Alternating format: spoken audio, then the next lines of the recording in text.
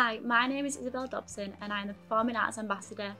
Studying BTEC Performing Arts at Key Stage 5 helps you to be expressive and develop performance skills with the support and empowerment from specially trained staff.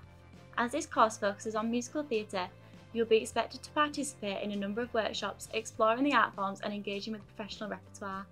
This course is extremely practical with theory work that underpins the exploration. The fact that I can perform every day in lessons sparks my passion for the subject we are given the opportunity to perform solos as well as ensemble members. This gives variety to the work studied. I love the fact that at times we have the freedom to explore different performance works and challenge ourselves as performers. We also receive singing lessons to help develop our vocal skills. The staff are really supportive and approachable. This individual support is helping me to overcome a recent challenge of performing different vocal styles in one musical number.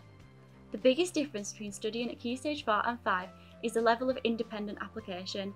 There is more time to complete solo work and there is more responsibility of you as a performer to develop the work from page to stage. You are also required to complete more research tasks in order to widen your knowledge and understanding of the world of musical theatre. We are given many opportunities to perform in front of a live audience and in the many concerts school put on.